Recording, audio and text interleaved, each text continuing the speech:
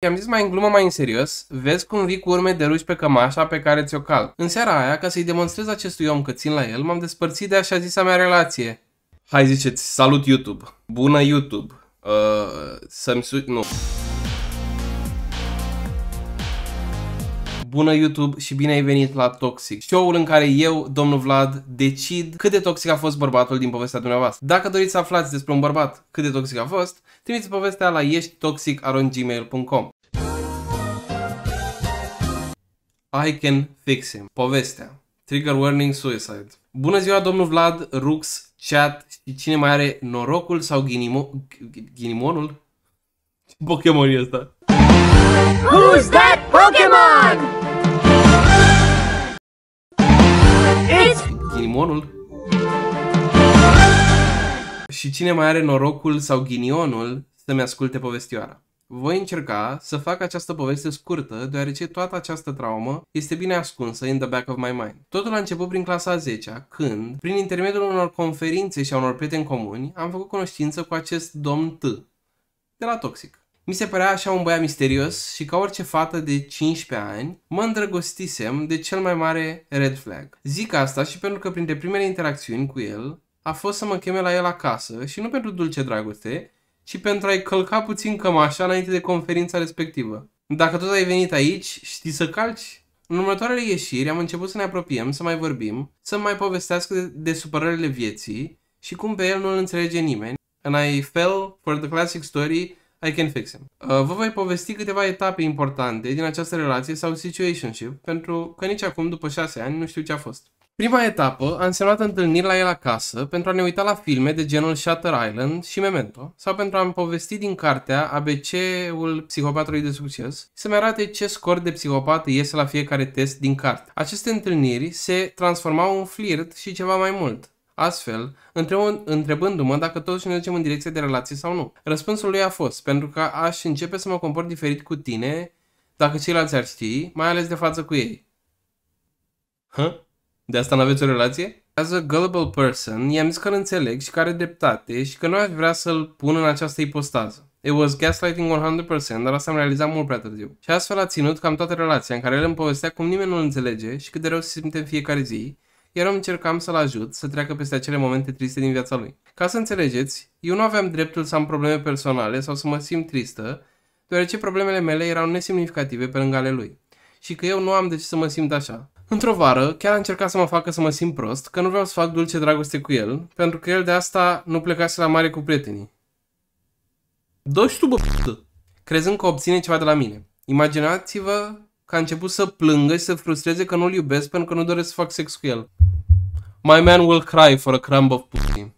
Un alt moment care m-a marcat a fost când îmi povestea cum a dorit să se arunce de la geam deoarece se simțea nedorit când eu încercam să-i fiu alături 24 din 24. Fast forward 2 ani mai târziu reușesc să îi pun capăt parțial pentru că i-am propus să rămânem toți prieteni din frică de a nu duce la capăt dorințele de aruncat și pentru care la vremea respectivă m-aș fi învinovățit.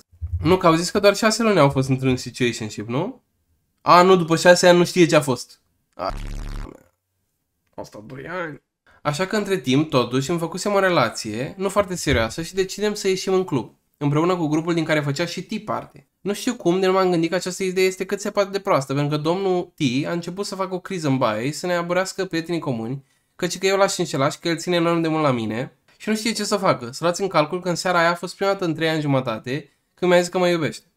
În seara aia, ca să-i demonstrez acestui om că țin la el, m-am despărțit de așa zisa mea relație.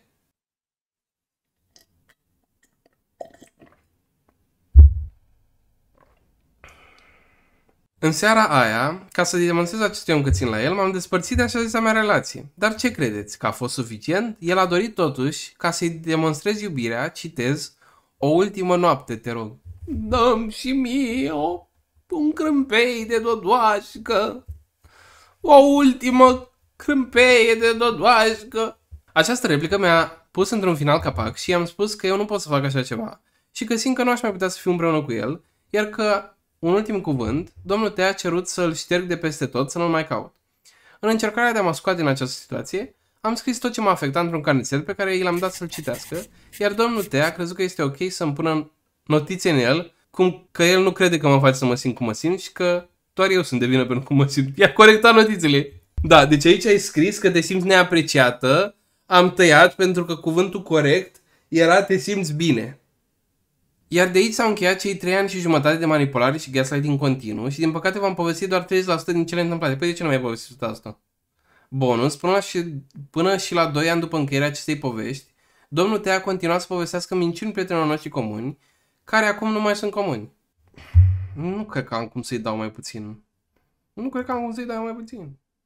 Nu cred că am cum să-i dau mai puțin. N-am pe ce să-i dau mai puțin. N-am pe ce să-i dau mai puțin. A spart și ăsta toxicometru, abia îl înlocuisem, n-am pe ce să-i dau mai puțin. A spart toxicometru. Nu, nu, ne... N-am. Bolnav de înșelătită. Povestea. Trigger warning, suicide mentions. Bună seara, domnul Vlad, Rux și chat. Poftă bună tuturor. Povestea mea începe într-o perioadă destul de gri prin care trecea România. Februarie 2020. Imediat după ce s-au închis școlile, magazinele, restaurantele și s-a declarat stare de urgență și carantină peste tot. Posibil într-o foarte mare plictiseală, am reluat legătura cu un tip pe care îl știam de pe vremea când purtam scutec, însă cu care nu am ținut niciodată legătura. Până acum. El era plecat din țară în acea perioadă, așa că în prima parte a interacțiunii noastre conversam online. Într-un timp relativ scurt, aproximativ 2-3 săptămâni, realizez că ajunsesem să vorbim în fiecare seară pe videocall până adormeam. Ne scriam zilnic, iar gândurile mele legate de el pătrundeau pe tărâmuri necunoscute mie până în acel moment. Simt că mă îndrăgostesc. Sentimentul se intensifică atunci când mi este confirmată reciprocitatea lui. Așa că iată-ne, nici o săptămână mai târziu, cum el se întoarce în țară și eu mutându-mă la el pentru următoarele două săptămâni, cât era obligatorie izolare atunci pentru persoanele care intrau în țară. După care m-am întors acasă, dar am continuat să ne vedem zilnic. În punctul acesta, eram sigură că mi-am găsit sufletul pereche. Puteam vorbi cu el ca și cu mine însumi. Eram cea mai amuzantă persoană pe care o cunoșteam. Eram. Era cea mai amuzantă persoană pe care o cunoșteam. Sexul era minunat, totul era superlativ. Dar, basmul meu era pe care să se spulbere la fel de repede cum a venit. Tipul mi-a povestit despre cum toate relațiile lui s-au sfârșit pentru că a fost înșelat. Motiv pentru care l-am compă- compătimit mult timp. Neînțelegând ce suflet au femeile de pot înșela asemenea creația naturii, a cărui singur red flag era faptul că era băiatul mamei, recunoscut chiar de el. Citez. Părerea e cea mai importantă, nu ies din cuvântul ei. Iar deși avea 22 de ani, mi s-a părut cute într-un fel, care are o relație atât de bună cu ea, detaliul relevant la finalul poveștii. Nu mai citesc nimic. Nimic! Pe la jumătatea primăverii, lucrurile se mai liniștesc. Așa că puteam ieși afară fără declarație. Într-o mică plimbare, îi zăresc inconfundabilă mașină într-o benzinărie, cu o tipă în dreapta. Îl văd pe făt frumos cum urcă mașină, o sărută pe domnișoară, după care pornesc în grabă pe căi necunoscute domnului. Pus în fața reproșului meu evident, mi-a confirmat ieșirea cu acea domnișoară, despre care mi s-a spus că este verișoara lui, iar că sărutul pe care eu eram sigur că l-am văzut a fost, de fapt, doar încercarea lui de a-i scoate cercelul agățat în păr, uh, cu gura din gură. V-ați gândit că e cea mai proastă scuză pe care ați auzit-o. Ei bine, eu m-am gândit că e un argument valabil, așa că mi-am cerut scuze și am continuat relația. Cum? Ce? Cine? De ce?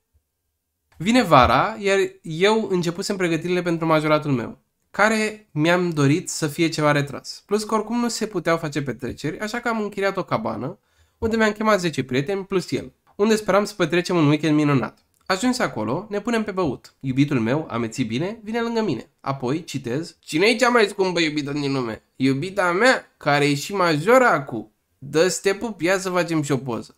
Spune el în timp ce deschide WhatsApp-ul. Opa! Prilej cu care îmi sare în ochi penultima conversație, unde ultimul mesaj era unul trimis de el cu o seară înainte unei tipe pe care o avea în trecut în telefon, fosta. Mesajul sună ceva de genul, hai pe la mine să facem dulce dragoste, jur că am chef. Un detaliu foarte relevant mai târziu este faptul că mesajul era doar trimis, însă nu era primit sau văzut de persoana respectivă, era doar o bifă. Nu m-am putut abține și am izbucnit în plâns. Am fugit în cameră și nu am vrut să mai vorbesc cu nimeni în seara majoratului meu. And he did it on my birthday dinner. And you did it at my birthday dinner. Iar toți ceilalți au dedus că mi s-a făcut somn de la prea multă băutură și m-am dus să dorm. El a continuat să bea, probabil nerealizând ce tocmai făcuse. Nu mi-am dorit să fac o scenă acolo, așa că, în capul meu, cel puțin, aș fi putut să nu deschid subiectul până ajungeam acasă. Însă, dimineața când m-am trezit, după ce am plâns cu muci, văzându-l în par lângă mine, tot ce am putut să fac a fost să-l trezesc în palme și să-i cer explicații. Mi-a spus că mesajul respectiv a fost o, pro- o provocare pe care a primit-o de la prietenul lui pentru că pierduse un meci de ceva joc ce se juca el. Iar apoi, cu lacrimi de crocodil în ochi, un întreg discurs despre ce om minunat sunt eu și cât de mult mă iubește el. Urmate de amenințări că se dacă eu încerc să-l părăsesc. Iar în final, urmând o victimizare despre cum nu am pic de încredere în el. Evident, manipulată emoțional, am decis că argumentul e valabil, cerându-mi scuze tot eu și de data aceasta că sunt așa paranoică. Dar după aia, după aia ai plecat, nu?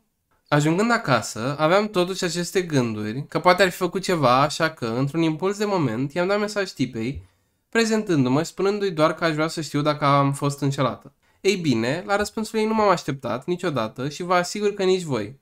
Această fată, despre care știam atât de multe detalii, care erau după spusele lui fosta care l-a înșelat, nu îl cunoștea.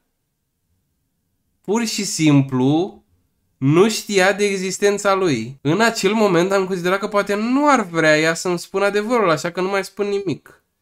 Trei seri mai târziu găsesc întâmplător în noptiera lui un telefon despre care nu știam. El dormea, așa că mi-am permis să-l încarc și să-l verific, iar după ce l-am aprins a intrat notificarea acelui mesaj.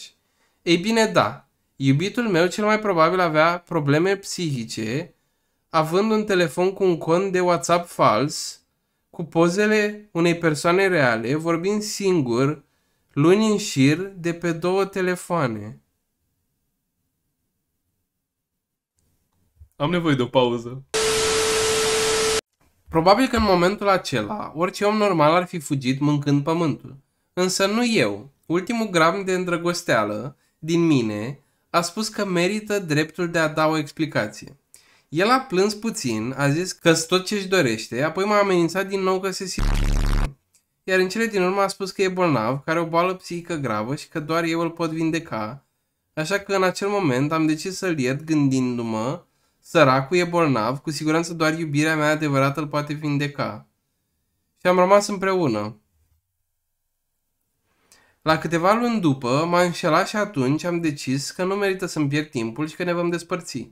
Decizia mea nu a ținut mult, pentru că a venit cu flori la ușă, a dormit o seară pe bancă în fața blocului, mi-a mai jurat odată că doar pe mine mă vrea, în cele din urmă spunându-mi din nou că viața lui nu poate continua fără mine. Mi-era constant frică de faptul că el chiar ar face ceva, așa că i-am dat din nou așa... Relația noastră s-a terminat un an și jumătate mai târziu.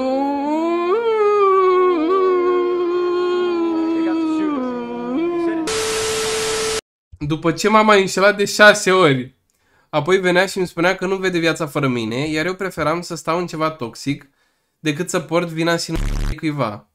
Dar motivul real al despărțirii a fost faptul că jartiera de maică sa, asta e altă poveste pentru cine-i Jangina, păi trimite-o, a considerat că eu sunt mult sub nivelul băiatului ei, așa că i-a interes să se mai întâlnească cu mine, iar el s-a conformat.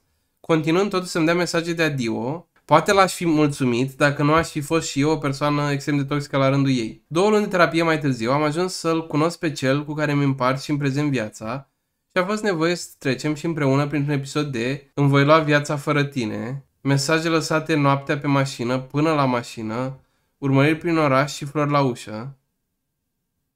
A, de la ăla, am crezut că și de la relația asta. S-a potolit după câteva săptămâni, însă sper că e bine și că a făcut și el terapie pe bune, nu terapie cu dragoste adevărată, cum credeam eu că voi reuși să-l tratez.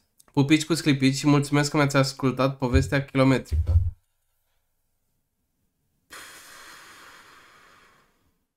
I mean, I think it's pretty obvious, right? I I I, I was left without words multiple times. Uh, nu mă așteptam la acest twist. De ce vorbea singur? Cred că voia să fie prins că înșală. Cred că voia să fie prins. Cred că asta era ideea. I mean, nu, nu o să-l diagnostichez eu cu nimic, dar faptul că ar avea un diagnostic nu ar schimba faptul că ar fi toxic. Poți să fii diagnosticat cu orice și să nu fii o persoană de căcat. Bun. Roto-percutor. Povestea. Bună tuturor celor care citesc și ascultă povestea. Vă îmbrățișez. Eu citesc și ascult povestea. Te îmbrățișez de asemenea. Cat aici. Nu-mi place partea asta. Nu vreau să știu oamenii că îmbrățișez. Deci povestea își are începuturile undeva prin vara lui 2015, înainte să plec în București pentru studii. În timp ce căutam să socializez online cu viitorii colegi, pentru că nu știam nimic despre nimic, am reușit să dezvolt mai multe conversații cu un anume domn. Să-i spunem rotopercutorul. De ce? Roto era prezent în toate grupurile, răspundea tuturor întrebărilor, era omniprezent, omnipotent, omniscient, whatever, așa că a început să-mi placă. Femeia mea are God King? Vorbeam destul de des despre cum urmează să ne întâlnim și bla bla. El m-a așteptat să-mi facă turul facultății, orașului și îmi doream asta foarte mult, dar aveam o mare problemă. Mă consideram oribilă, mi se părea că am kilograme în plus și că nimeni nu ar fi atras de mine. Sper că nu te mai consider așa. Fac o mică paranteză de explicații, pentru că mi se pare re- relevant să știți că de mică m-am dezvoltat foarte devreme, mi-au crescut sânii și fundul, iar cei cele din jurul meu îmi spuneau că sunt grasă doar pentru că arătam diferit față de fetele de vârsta mea. Vedem. Asta a dezvoltat o traumă cu care încă mă lupt, mai ales acum, când am adunat ceva kilograme în plus. Revenind la poveste, m-am mutat în București între timp și țin să precizez că până m-am întâlnit cu el, au trecut vreo 3-4 luni. Timp în care mă înfometam ca să slăbesc. Scumpa. A venit în sfârșit momentul întâlnirii pe care l-am ales să fie noaptea, ca să nu vadă prea bine kilogramele mele în plus, în halul ăsta gândeam. Ne-am plăcut și după alte câteva întâlniri am decis să formăm un cuplu care a rezistat aproximativ 2 ani jumătate spre 3. La șase luni distanță de la prima întâlnire, am făcut prima greșeală a vieții mele. Ne-am mutat împreună. Aici începe drama, pentru că amândoi am fost foarte toxici unul pentru celălalt. Eu nu aveam încredere în el pentru că mereu se uita după alte țipe pe stradă, de față cu mine, dădea like-uri tuturor femeilor existente pe platformele lui de socializare, niciodată nu făcea complimente și toate acestea veneau la pachet cu insecuritatea mea vis-a-vis de felul cum arăt. Așa că nu eram de acord cu prietenii lui și aveam crize de gelozie. No, păi tu ai fost toxic aici. Nu, nu dau toxic la femei la emisiunea asta. Ce, despre ce vorbiți? I was toxic, I know, and I'm sorry for that. Ah, știa. Am luat eu verdictul ca prostul. După un an de relație, am făcut a doua cea mai mare greșeală. Ne-am făcut tatuaje matchy de ziua îndrăgostiților. Un infinit creat dintr-o săgeată cu inițialele celuilalt. Oribil. Vă rog, nu faceți așa ceva. Nu, o fac viața mea. Parcă a intrat dracu noi, după asta, că relația a rotopercutat din ce în ce mai prost. Pe lângă gelozii, el fiind mai mare decât mine cu 2 ani, s-a angajat, bineînțeles, înaintea mea, ca ITist și câștiga o cârcă de bani. Dar era destul de zgârcit și efectiv nu îmi cumpăra nici măcar o sticlă de apă ca să nu trăiesc pe banii lui. Fratele lui mai mare și părinții cred că au avut un raport destul de mare la ideea asta că eu aș vrea să profit financiar de el sau ceva, dar toată relația am împărțit toate cheltuielile. Fiecare avea banii lui și se descurca cum putea. Bineînțeles că eu mă descurcam mai greu pentru că eram studentă și trăiam din banii pe care mi-i alocau ai mei, care nu prea aveau nici ei. Dar niciodată nu i-am cerut, nici măcar să mă împrumute. În tot acest timp, eu făceam toate treburile casei, pentru că el avea această mentalitate, cum că bărbatul nu are ce căuta să gătească, spele vase, haine, că asta l-ar face slăr. În vremea aceea, eram suficient de involuată intelectual încât să-mi pară ok toate chestiile astea. Vine ziua cea mare a relației, când rotopercutorul trebuia să meargă să rotopercuteze la petrecerea de Crăciun a companiei la care lucra și deși în alte dăți mă invitați la evenimente de genul, de data asta mi-a spus că nu-și poate aduce partenera. Păi avea The Work Wife. Avea The Work Wife acolo. Mi-a mirosit ceva ciudat, dar am lăsat iubirea să mă prostească.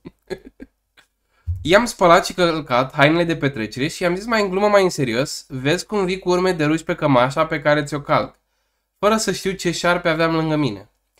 M-a asigurat că vine de vreme, să dorm, să nu-l aștept, dar nu puteam să dorm. Orele treceau și el nu mai venea, mă abțineam cu greu să nu-i scriu mesaje. Pe la 3.30 am adormit. El încă nu se întorsese. S-a întors abia la 5-6 dimineața, rupt de beat, s-a schimbat, a dormit o oră și a plecat la muncă. Eu nu am mai putut merge la facultate în ziua aia, simțeam că s-a întâmplat ceva. Eram praf cu moralul. Am zis să fac curat în casă, dacă tot am dat skip la facultate, și am găsit la fundul coșului de rufe cămașa lui, deși restul hainelor erau lăsate aruncate pe jos prin casă, cum le lasă de obicei. Scot cămașa și ce credeți? Nu doar urme de ruj, ci și de fond de ten, peste tot pe cămașă. Tipa s-a asigurat că lasă toate dovezile și tot machiajul pe care îl pusese pe cămașa aia. Am simțit că mi se duce pământul de sub mine. Printre plânsete și suspine, am făcut poză cămășii și i-am trimis, întrebându-l ce s-a întâmplat. Ce gaslight o să-i dea? Ce s-a întâmplat? A căzut un grup de colegi pe, pe mine că s-au împiedicat de un cablu și a lăsat un, un coleg încărcătorul și s-au împiedicat toate și au căzut peste mine. Hai să vedem. Mi-a dat cel mai urât gaslighting, spunându-mi că sunt isterică și fac crize de gelozie din nimic. A, nici măcar n-a explicat. Că doar a dansat și se pare normal să danseze colegele lui de muncă și nu e vina lui că eu nu lucrez și nu știu ce înseamnă toate lucrurile astea. Urmele de ruși erau pe nasturii cămășii până jos, unde se termina cămașa, iar mintea mea, bineînțeles că a legat fel și fel de filme, dar el a avut explicații logice pentru toate, pe care, fie că vă vine să credeți sau nu, le-am crezut. Păi și pleca, nu? Ți-ai luat biletul înapoi, nu? Ți-ai luat biletul Nu! înapoi. După aia te-ai despărțit de el, nu? Uh, pun ghilimele pentru că știam că nu e adevărat, dar m-am prefăcut că îl cred pentru a nu-l pierde. Ok, era primul iubit cu care începuse în viața sexuală și voiam să fie și ultimul. Cel puțin asta îmi băgaseră în cap părinții mei cu mentalități toxice. Doamne, I hate, I hate this so much. F***vă cu aia cu cine vreți. Explicațiile. Era foarte beat și lua pahare random de la bar, iar când ținea paharul în mână, urmele de ruși de pe pahar se ștergeau pe cămașa lui și practic eu sunt nebună că nu m-am gândit la asta. Știi ceva? Știi ceva? Deștept băiat. L-am rugat să meargă să locuiască cu fratele lui o perioadă până ne decidem ce făcea, uh, ce facem și venea în lipsa mea în apartament și verifica dacă mai sunt tot atâtea prezervative câte a lăsat. Îmi lăsa bilețele, cum că vede că sunt singură după castraveții pe care i-am în frigider. Ba chiar după ce ne hotărâsem să ne separăm definitiv, începuse să facă scandal pe motiv că i-am ascuns lucrurile ca să nu le vadă bărbații cu care vin acasă. Într-adevăr le-am ascuns pentru că nu puteam să le mai văd, mă deprimau. Am suferit foarte mult, trei ani am stat singură și deși am rupt Tinder-ul, nu am reușit să fac ceva cu niciun tip. Ba chiar unul din tipii de pe Tinder mi-a dat ideea de rotopercutor. M-a întrebat ce semnifică tatuajul meu și după ce am povestit de fosta mea relație toxică, ce încă mă afecta, mi-a dat ideea că de atunci, orice întreabă ce semnifică acel R, să spun că rotopercutor și am ascultat sfatul. Între timp, am acoperit tatuajul și am trecut peste toate traumele provocate de această relație. Fostul l-a mai căutat, este singur și la fel de toxic. Eu am lucrat foarte mult cu mine și încă mai lucrez într-o relație super sănătoasă, în care învățăm amândoi cum să fim cât mai ok în societate și unul cu celălalt. Vă mulțumesc pentru răbdare, poftă bună Twitch, poftă bună YouTube. Ok, o poveste corectă, o poveste frumoasă, o poveste cum trebuie. Și prin frumoasă mă refer toxic. Bun, mi se pare că acest bărbat ar fi putut fi mai toxic. Motoul emisiunii ar fi putut fi mai toxic. Băi, gaslight-ul ăla, minciunile alea infecte, faptul că te verifica acasă, faptul că zicea, a, e singură că ai castraveți în frigider. Cine mănâncă castraveți? Ți bagi în p***ă. Îmi pare rău că ți-ai făcut tatuaj cu această persoană. Uh, îmi pare rău că ai fost cu această persoană și te-ai simțit insecure cu această persoană. Îmi pare bine că ești într-o relație mai bună acum. Uh, eu acestui bărbat am să-i dau 100% toxic. Sincer să fiu, nu cred că sparge toxicometru, că ar fi putut fi mai rău. Sincer, putea să facă și mai multe. și ăsta a fost episodul de azi din Toxic. Dacă ți-a plăcut, nu uita să dai un like, un share, un subscribe și nu uita să trimiți povestea ta la adresa de e-mail eștitoxic.gmail.com Și cam ăsta a fost episodul. Sper că v-a plăcut. Când am ieșit cu prietenii lui, m-a luat undeva să vorbim doar noi, m-a pupat de față cu toată lumea și după îmi zice că chestia asta dintre noi se mai poate întâmpla, că vine iubita lui.